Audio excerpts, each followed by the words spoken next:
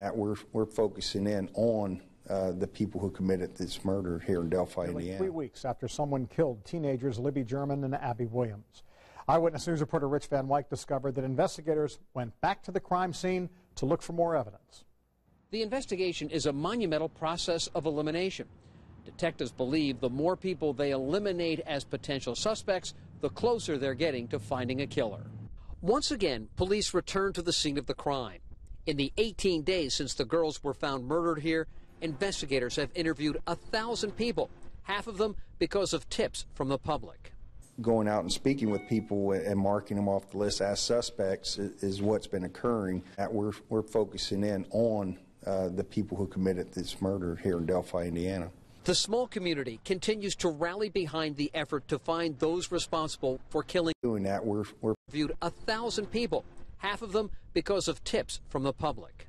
going out and speaking with people and marking them off the list as suspects is what's been occurring. But by doing that, we're, we're focusing in on uh, the people who committed this murder here in Delphi, Indiana. The small community continues to rally behind the effort to find those responsible for killing two of its favorite daughters, Libby German and Abby Williams.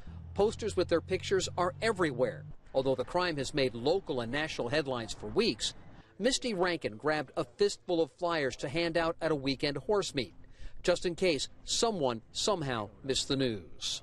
People come from all different states and different counties and things like that, and we're just trying to make sure that everybody gets them. The plan to light up Delphi until the killer or killers are caught sold out the initial shipment of 500 bulbs in just 24 hours.